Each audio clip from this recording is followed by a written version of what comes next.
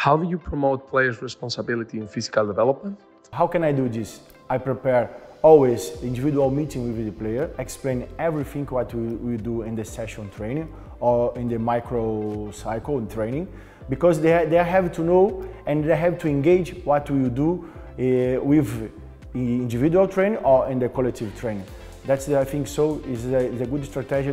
to start to develop something together because if the players not participate in this kind of the conversation or maybe decide together what you have to do with him, probably the engagement is not so good. And uh, in my opinion, always we have to talk individual meetings with them, also participate with in the collective meetings like in the, the meeting with the team to try to develop something uh, Uh, good and well for the health performance. If you want more information about our Master, FSI Master Football Physiotherapist,